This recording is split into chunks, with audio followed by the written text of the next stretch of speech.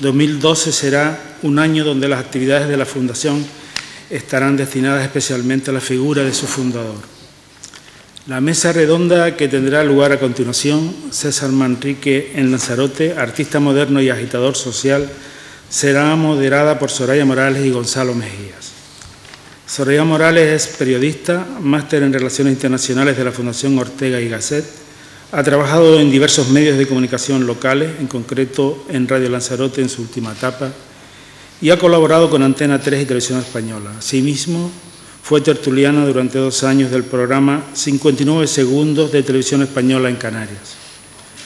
Gonzalo Mejías es periodista, inició su andadura profesional en Valencia, en la autonómica Radio Nou y en el diario deportivo Superdeporte. En la actualidad es encargado de los servicios informativos de la cadena SER en Lanzarote y director del digital noticias de lanzarote.com.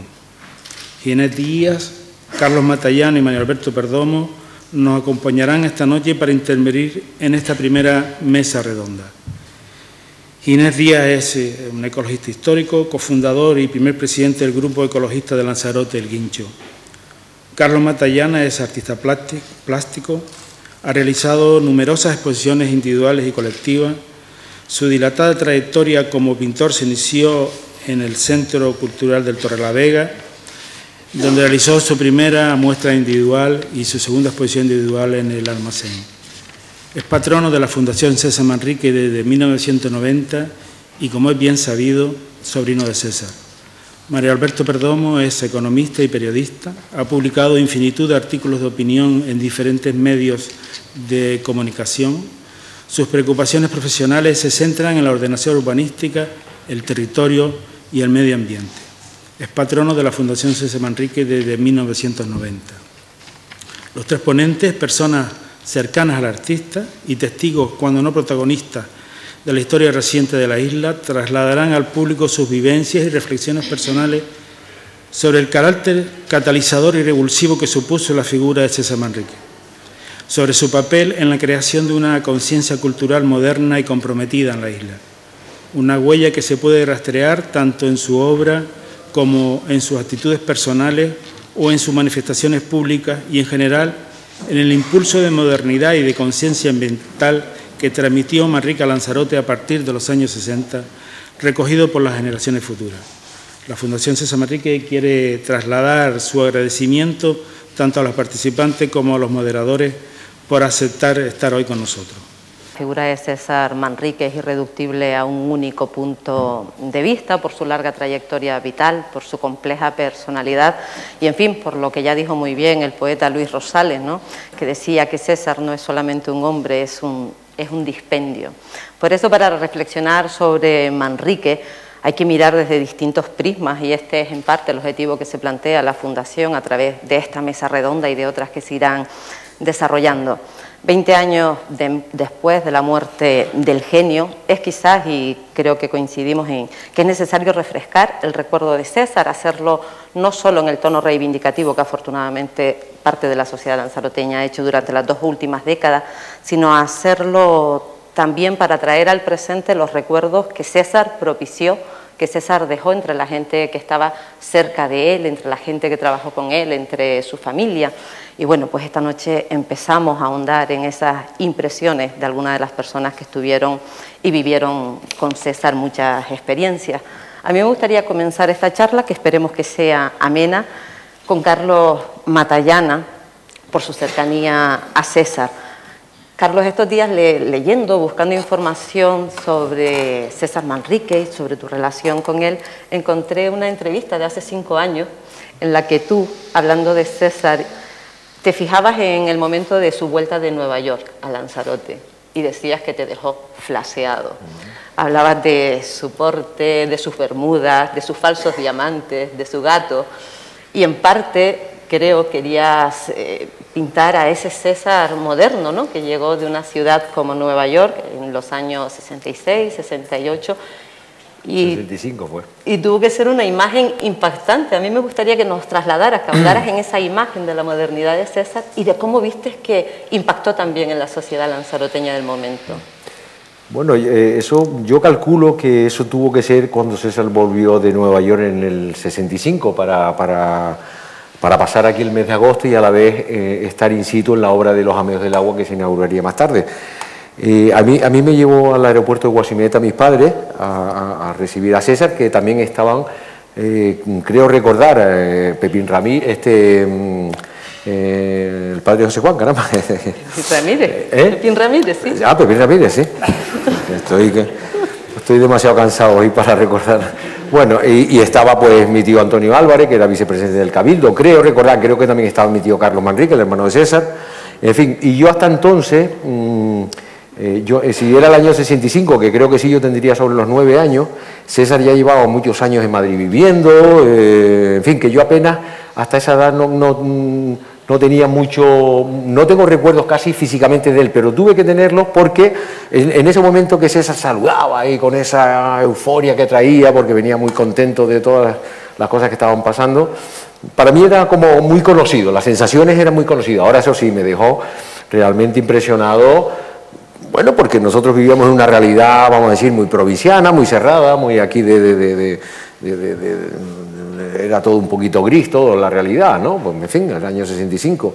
Y, César venía, pues como él, era, pero con, no sé, tendría pues a lo mejor 45, 50 años, con una energía extraordinaria.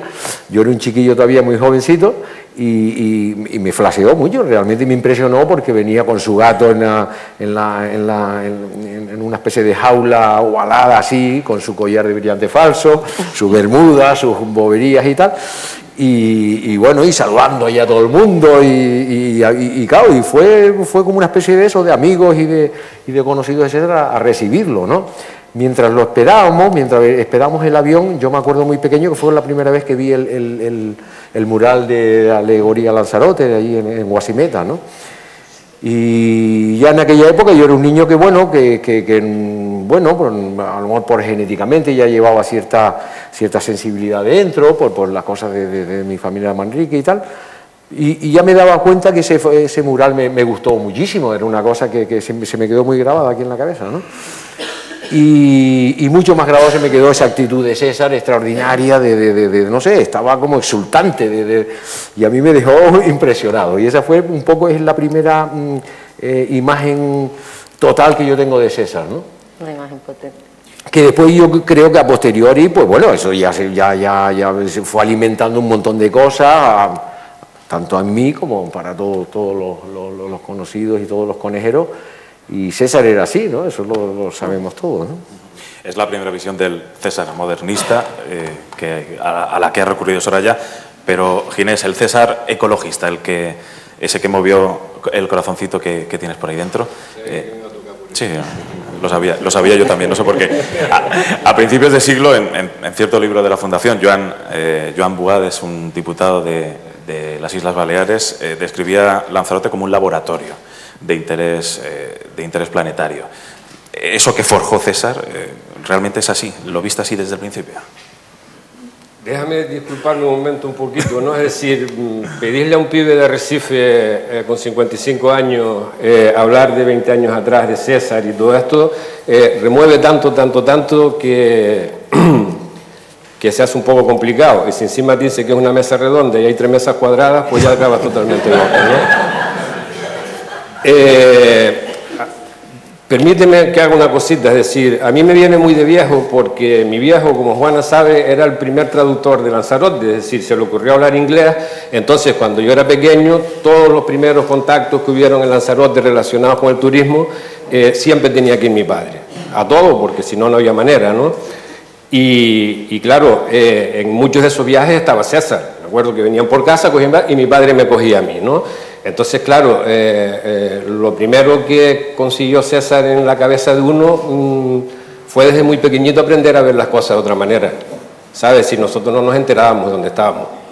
Te enterabas de la marina, de los charcos, de las cositas. Ahí sí tenías un mundo visual que además él siempre recuerda permanentemente. ¿Sabes? decir, ese, ese primer entronque que luego siempre me ha sorprendido mucho la loa que hacía a los campesinos, a los campesinos y cómo siempre dejó muy un poquito de lado a los costeros, ¿no? aunque hizo algún monumento y tal y cual, porque siempre he pensado que la gente de la costa es más creativa y más fundamentosa y más César Manrique que la gente del campo. ¿no?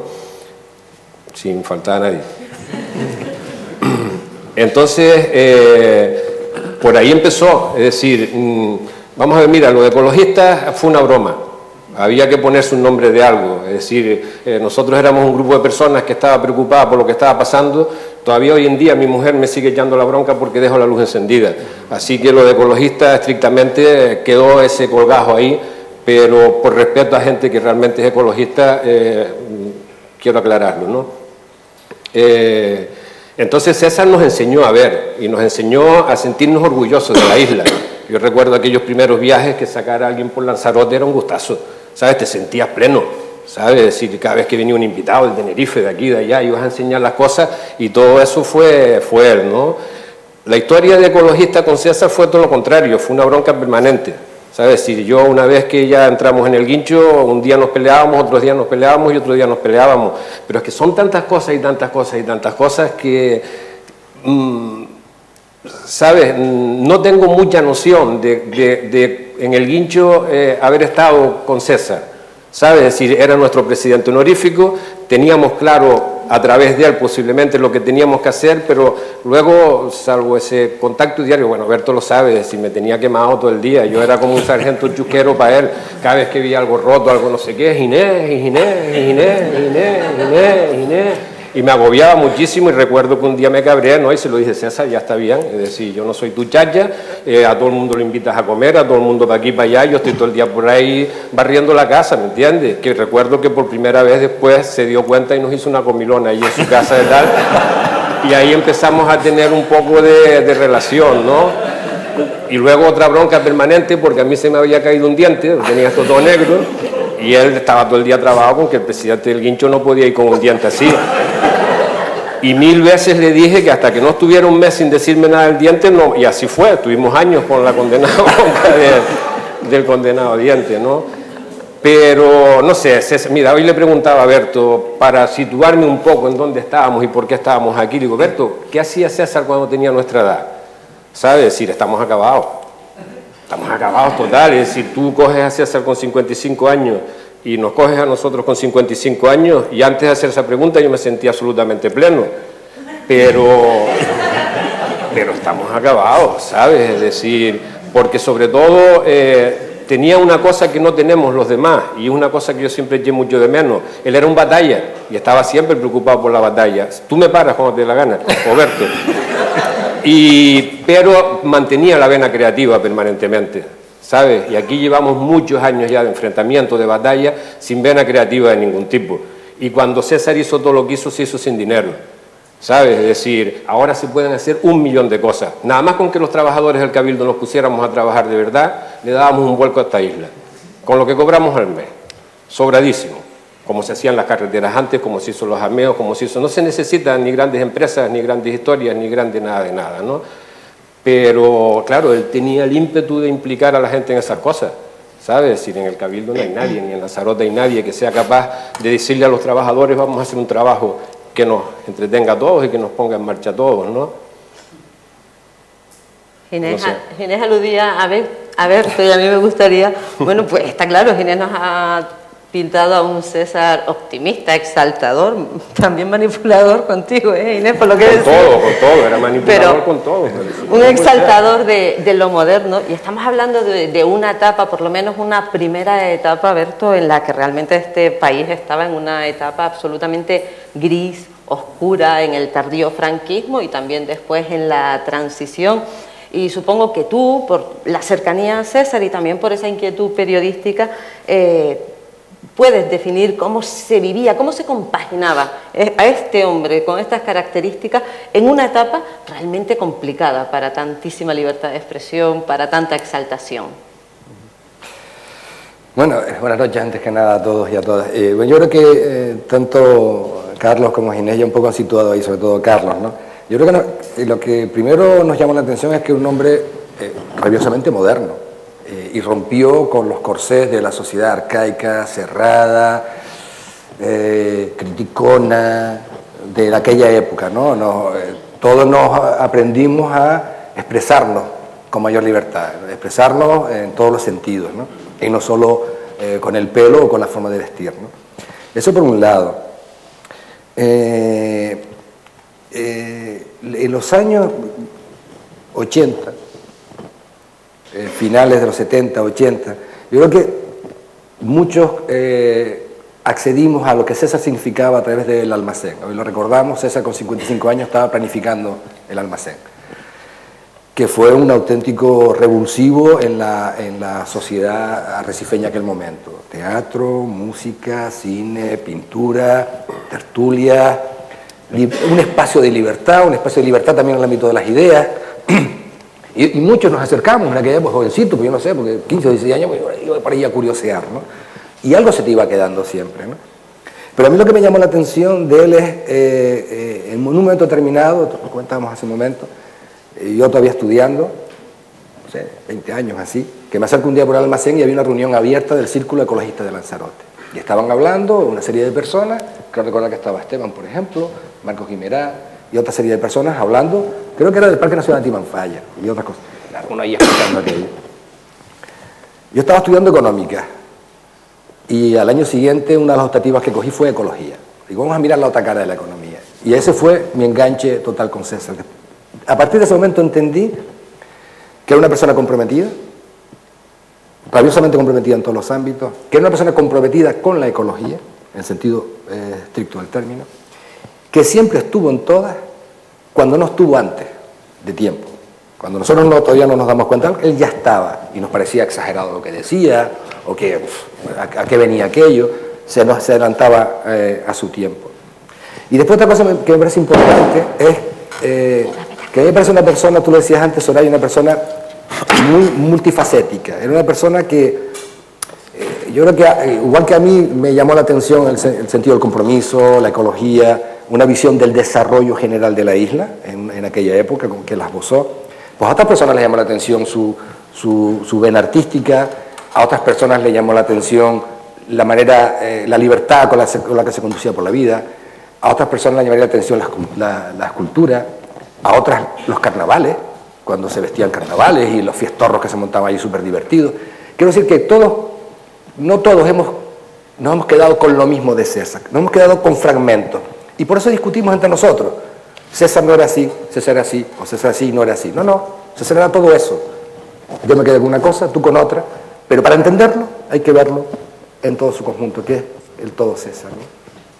Hemos conocido el primer esbozo que hacen los invitados, que hacen, que, hacen ustedes, la visión que se tenía de César por parte de cada uno, pero eh, en el recuerdo que albergan, eh, ¿qué, visión se tenía de César en aquel momento, de todo lo que hacía, de, todo aquello que comenzó a surgir en aquella época?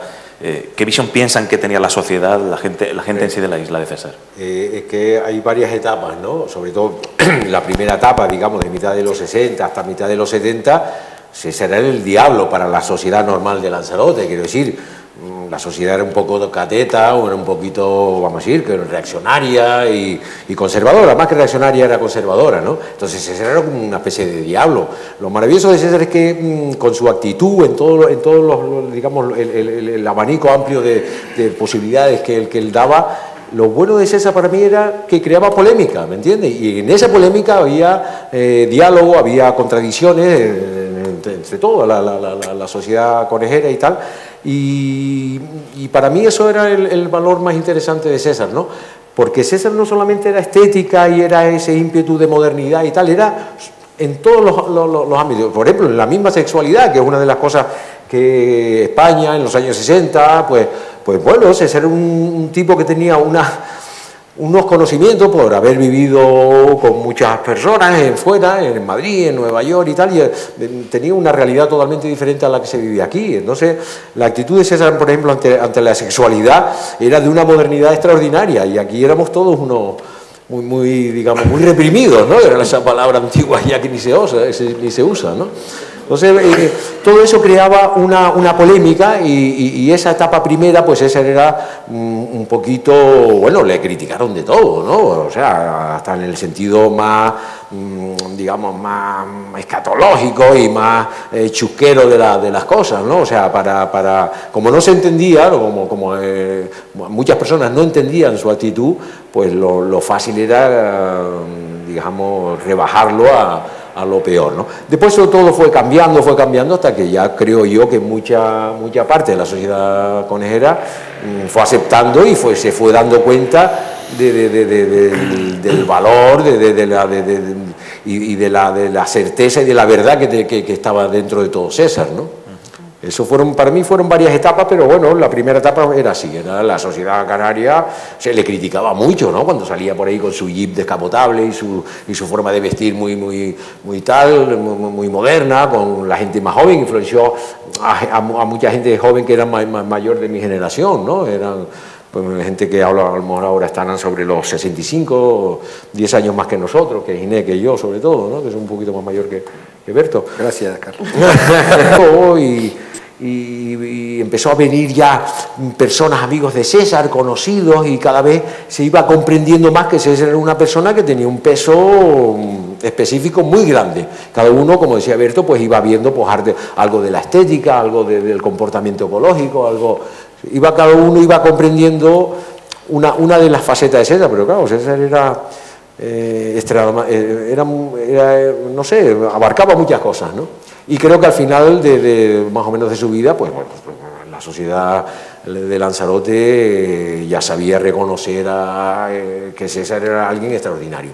Y que también, como dijo eh, Bercico, creo que, que, la fundación del almacén fue lo que fue la semilla, el revulsivo para que la gente jóvenes, como todos nosotros, nos pasábamos por allí, empezó, empezamos a poder ver pues, algo de teatro, incluso participamos nosotros en, en cosas de teatro. Y yo no tanto porque yo estaba ya en la universidad ya no estaba aquí con, en, esa, en, esa, época tanto, pero todos mis pandillas, mis amigos de, esa generación sí estuvieron en teatro, teníamos la posibilidad de comprar libros interesantísimos ahí en la, en la biblioteca Lorca, eh, veíamos cines de, de, arte y ensayo, cosas que no, apenas se podían ver por aquí o por allá, en fin, exposiciones. Yo cuento también a muchas veces a mis amigos que la primera obra mm, de, grandes maestros modernos la vi en el almacén prácticamente, porque antes había salido muy poco de Lanzarote. En fin, allí vimos a Wilfredo Lama, a Roberto Mata, y eso era extraordinario. En Canarias eso ni en España se conocía esas obras, ¿no? Entonces, claro, Lanzarote, eh, eh, él vivió la época de Lanzarote, hubo varias etapas. Esa es la sensación que yo tengo, ¿no?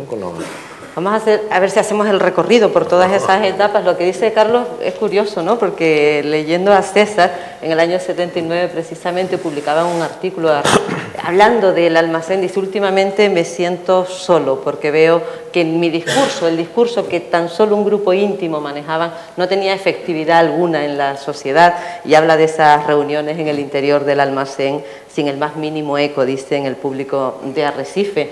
Por eso digo que la evolución, Ginés, desde ese César incomprendido por la sociedad lanzaroteña a ese César apoyado y yo creo que en, ocasiones incluso adorado por la sociedad, ¿cómo, cómo la vives? Yo ese último no lo conozco, ¿no? ¿Sabes? cuando un tío como, cuando un tío como Manrique se tiene que apoyar en pibe que viene de Alegranza con un diente partido sin tener ni idea de nada, es que está bastante solo. y además voy a recordar que Dimas Martín ganó unas elecciones por absoluto eh, arrasamiento llamando maricón a César, yendo a por él a muerte, a saco. Y el pueblo de Lanzarote votó masivamente a ese tío. Es decir, otra cosa es que parte y intereses de lo que él proponía y demás eh, fueran fueran utilizados de alguna manera, ¿no? Pero estaba solo y desesperado. Lo que pasa es que tenía más voluntad que uno, ¿sabes? Y, y, era como indestructible, ¿no? Eh, pero yo no, no, tengo esa sensación de que, de que, ¿sabes? De que la gente lo acabara apoyando. De que la gente sí se sentía muy apoyado. Yo, yo sé que él tenía mucho feeling con los alemanes por lo menos la época que yo viví, ¿no? Y los alemanes eran un, poder importante en, la isla de Lanzarote en aquella época. Recuerdo la conversación que tuvimos Berto y yo con Mario Gaviria, que siempre nos decía, el día que haya un... Gaviria estaba haciendo en aquel momento para los principales turoperadores, estaba haciendo la planificación del turismo de todo el hemisferio norte de, con otro pope francés de lo que iba a ser el turismo en el futuro. ¿no? Estuvimos tres días paliqueando con él. Y él siempre nos decía, por encima de todo, el día que en Lanzarote hay un inglés más con alemán, ustedes ya están perdidos. Él sabrá por lo que lo decía, ¿me entiendes? Y ahí un poco tiene que ver también esas cosas, ¿no? Pero yo creo que lo que consiguió Lanzarote fue por sus santos cojones, ¿me entiendes? Más que por... por, por, por... en eso, yo me acuerdo una vez estando con César, estábamos pues no, sé quiénes estamos, pero seguramente eran yo y mis hermanos, o, mi hermano Fello y, mis primos y tal, mi primo César y tal. Estábamos como en familia, él y su sobrino. Y no sé qué estábamos hablando, en fin, no lo recuerdo porque fue hace muchos años, a lo mejor teníamos 19 o 20 años.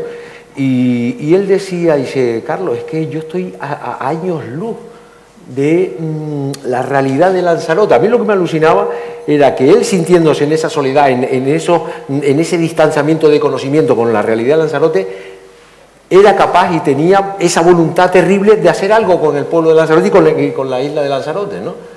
Yo, por ejemplo, si, a mí, si yo me sintiera, digamos, años luz de gente y tal, yo no tendría voluntad para, para intentar enseñar o intentar eh, reaccionar a las personas. Es como un artista en un momento dado, pues yo qué sé, los impresionistas o cualquiera en su momento que decide hacer una cosa contra todos, son vituperados, insultados y machacados, pero después eso queda. Ahora, decir que en su momento fueron apoyados, no No, no, seguramente, eso te digo. Y seguramente se las pasaron muy canutas todo lo que trata de cambiar.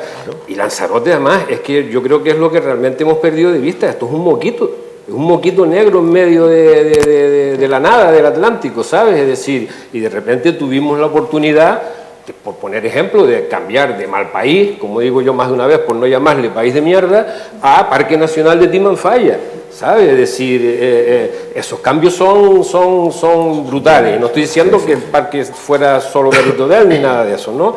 Pero que nos enseñó a... Lo que pasa es que, claro, cuando puso las pelas sobre la mesa, somos humanos y donde las pelas se ponen sobre la mesa, que es lo que en el fondo puso César, junto con, con, todo su proyecto, porque el proyecto creaba riqueza, ¿sabes? Es decir, cuando puso las pelas sobre la mesa, pues se lanzó todo el mundo a, por las pelas como locos, ¿me entiendes? Entonces ya empezaba a ser incómodo, ¿sabes?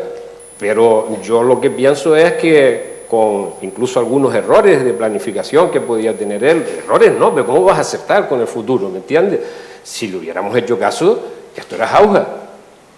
¿Sabes? Si yo me canso de decirlo, si Lanzarote ahora con 30.000 camitas y las cosas ordenaditas, pero es que no hemos sido capaces de nada, ni de la arquitectura, ni de esto, ni de todas las cosas que proponía, es que nos lo llevamos todo por delante. Pero César con su genialidad, con, o sea, quiero decir, con todo ese pensamiento profundo y el, que él se conocía y todo esto, mm, eh, en fin, lo que quiero decir es que mm, en, toda esa eh, soledad, en todas esa, esas sensaciones que él tenía, eh, en fin, ahora se, me ha ido un poquito lo que quería decir que estaba hablando. No, no, no, no, estoy realmente cansado. No, no, era algo por lo que dijiste, no, ahora no, no caigo muy bien. Caramba, se me fue. Bueno, no sé. En el gin tonic posterior va a salirte un Sí, ese quizás es el que me tiene que ser, me lo tengo, me lo tiene que tomar antes en vez de después. Lo siento. Bueno, el almacén eh, yo creo que a día de hoy sigue siendo una de las grandes asignaturas pendientes de las últimas legislaturas. Eh, se puede llegar a pensar que la gente lo tiene, la gente de la clase política lo tiene medianamente abandonado, cuando no es el Cabildo, es el Gobierno de Canarias y cuando no es el Estado central. Parece que poco a poco va saliendo de esa bruma que lo envuelve desde hace tantos años. Años en los que se convirtió, han salido las palabras revulsivo, semilla, eh, de un epicentro, de un movimiento que a día de hoy yo creo que es evidente que eh, es necesario recuperar. Eh, social que tuvo el guincho fue en el almacén, que César Manrique nos alquiló unos, locales que estaban ahí al lado, por el módico precio de una peseta anual, creo que era, ¿no? Y ahí estuvimos un par de años. fue nuestro presidente honorario, fue socio del guincho y nos cedió hasta que conseguimos un, otro local, un espacio maravilloso allí, de donde había una actividad de, un grupo de jóvenes. De, la primera reunión que hicimos de grupos ecologistas de Canarias, que hacía siglos que no nos veíamos, aunque seguro que hubo alguien que lo creó antes, ¿no? No hay la más mínima duda.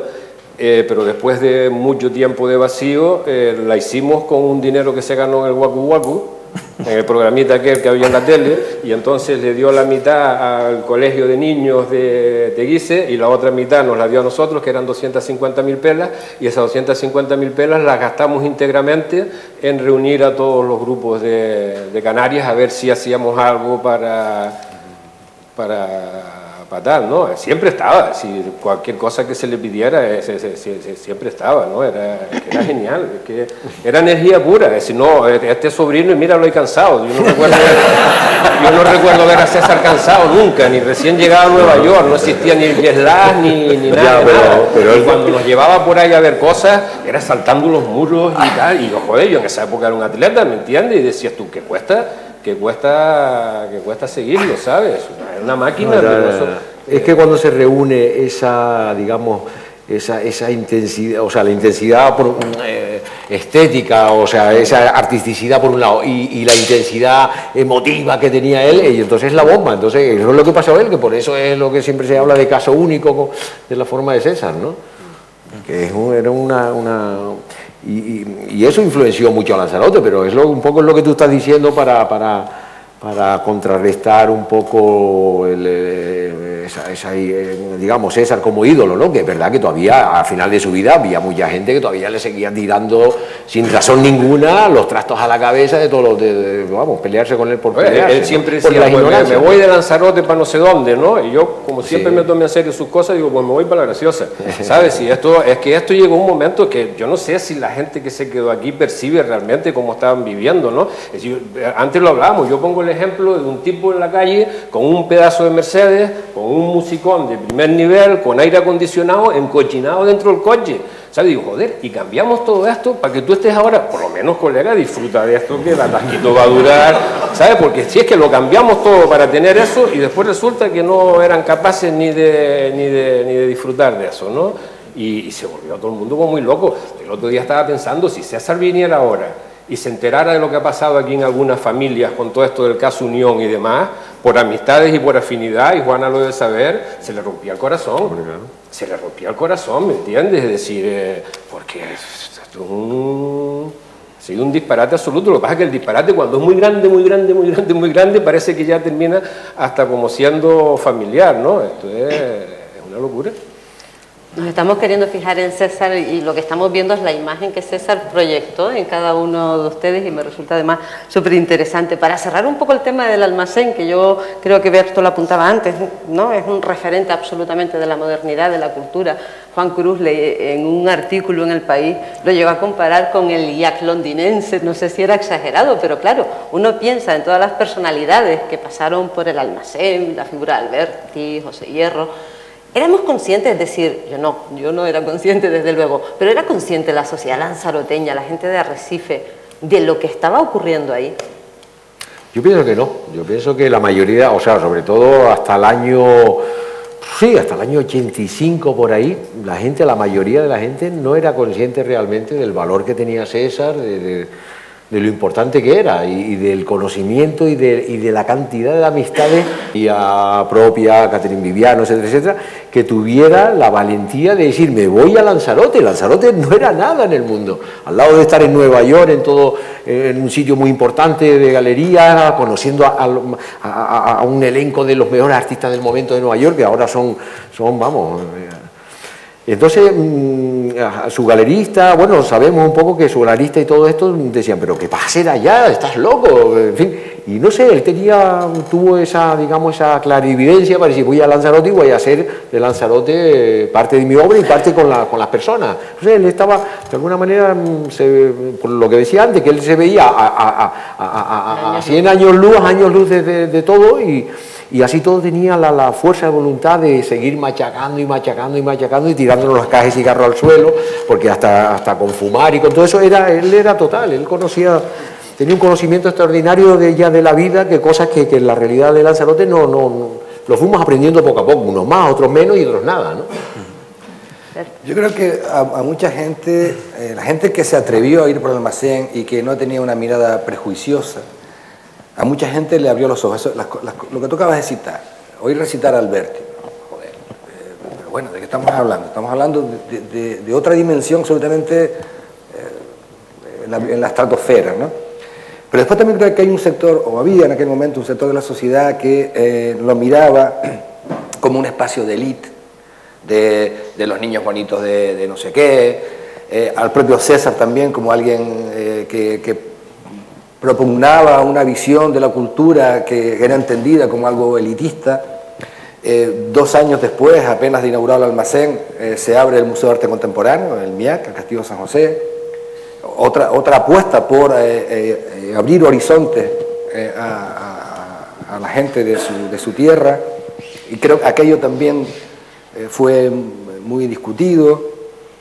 Yo creo que siempre ha habido una constante ahí de un, así como una parte valora, eh, absorbe, entiende y agradece y, aprende y sigue adelante con sus cosas, hay otra parte que em, de la sociedad insular y la sigue habiendo hoy en día que no lo ve con, con buenos ojos. Eh, lo digo con claridad, yo pienso que la misma trayectoria de la Fundación eh, sigue lastrando esa mirada que se tenía sobre César, en, en toda la actividad que ha venido desarrollando estos años. Pienso que todavía quedan sectores que lo siguen viendo con recelo, algo elitista, no se hace cultura popular, sino que bueno, una cultura entendida, tal, no sé qué. Mm, pienso que, a César le ocurrió, César sufrió una serie de cuestiones, eh, la institución que, construyó una vez más para seguir difundiendo cultura, valores, defensa del territorio, defensa del medio ambiente, un modelo de desarrollo para la isla, calidad frente a cantidad, los límites del crecimiento, desarrollo sostenible, todo eso que ya lo manejamos con mucha soltura, pero que eran términos que todavía no se habían ni siquiera popularizado en aquella época o, siquiera acuñado. Yo creo que César sufrió todo eso eh, hasta el final de sus días, efectivamente, que siempre estuvo luchando por eh, abrir la mente, abrir la mente de los prejuicios, eh, pero que hay sectores en los que no lo consiguió. Yo creo que esa, esa, esa circunstancia se sigue dando hoy en día. ¿Qué, etapa histórica en concreto se estaba viviendo, se estaba, se estaba respirando en el momento en que se empezó a, mover todo esto?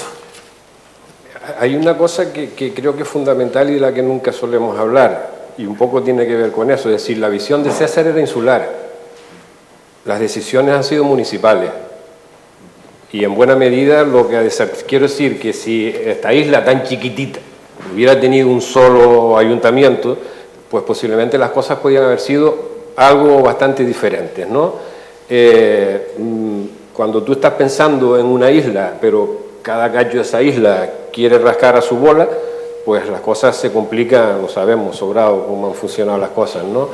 Y en cuanto a ese tiempo, es que, mm, es que es toda una vida, chicos, es que desde Chinijo hasta todavía hoy, 20 años después, eh, está ahí mm, forma parte de todos los tiempos, desde la época de Franco hasta la fiesta de la democracia, hasta el desastre de la democracia, hasta lo que quede por venir. A mí me cuesta mucho ubicarme en, ¿sabes? Es decir, después tomando cerveza con toda una noche por delante, igual podemos aclararnos eso, ¿no? Pero no los puedo invitar a todos. Pero en el caso de. cuando se inauguró el, el, MIA, que el Castillo de San José, por ejemplo, para, por hablar del momento histórico, eh, hubo ahí unos, unos tira y afloja con, con, esa puesta a punto del museo, con toda la obra que se trajo, parte regalada por César, parte traída por las amistades de César, con todo ese elenco de artistas de su generación y por arriba o por debajo. Entonces, ese era un momento franquista y, Santiago Amón, y se armó una pelotera increíble entre Santiago Amón, este, el canario este que vive en Madrid, este el pintor, este Luis a ver, se me fue también de la mente. En fin, quiero decir mm, que se armó una pelotera porque decían que se había hecho con dinero franquista. O sea, que esa era, esa era la realidad en ese momento. Por lo menos la del, la del MIA, que también fue una apuesta muy importante para abrir un poquito el conocimiento y la visión de, de los conejeros. Después, claro, después ya murió Franco en el, 75, van cambiando las cosas, la fiesta de la democracia, patatí, patatá. Pero César estaba todo el día luchando porque los veía todos como unos tipos interesados. Por aquí o por allá, veía un poquito de pela, porque bueno, el turismo estaba empezando a traer cositas y tal. Y bueno, le iban, y le iban dando la razón tanto en cuanto veían que la cosa iba funcionando bien. Pero también por detrás lo criticaban de, de, de, de pies a cabeza, ¿no? Pero vamos, la realidad es que cubrió eso, parte del final del franquismo hasta, hasta parte de la democracia y entrada. ¿Cómo fue su, relación, la relación de César Manrique con los que en aquel momento, en esa etapa en la que Carlos alude, estaban gobernando? Porque bueno, hemos visto... Berto. Yo pongo una fecha, ¿no? que es en el año 86, cuando César Manrique convoca en su estudio frente al almacén en Arrecife a todos los alcaldes de la isla. Y poco después, o en esa fecha, es, eh, el manifiesto Lanzarote se está muriendo. Estamos hablando del boom económico de los años 80, el boom inmobiliario, Eh, eh, el contexto político estaríamos hablando de la consolidación del fenómeno Dimas Martín, que ya en el año 83 hace de la alcaldía de Teguise comienza ya a, configurar, eh, en fin, un, estilo de liderazgo político que, del que todavía hoy estamos pagando las consecuencias. se comienza a hablar de ley de espacios naturales de Canarias, ley de planes insulares, comienza a hablarse en Canarias ya de una preocupación por todo este tipo de cuestiones. ¿no? De modelo de desarrollo, de ecología, de paisaje nada, sino de embellecer algo. El alcalde de turno venía, oye, vamos a arreglar esto, vamos a embellecer esto, ¿qué día tienes para esto, qué día tienes para lo otro? Fantástico. O sea, interesó siempre un César, eh, eh, una, un César parcial, una parte de César. El, creador, el que miraba un espacio y lo resolvía con la mirada.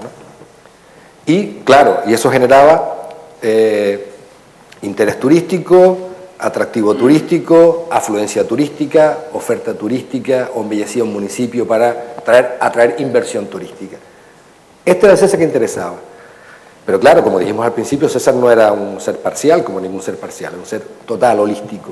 Y claro, vamos a hacer esto así, es que era muy bonito. Pero cuando luego pasaba por el pueblo de al lado o, veía que después hacía una burrada, salía el César Manrique. Entonces César Manrique no interesaba no interesaba.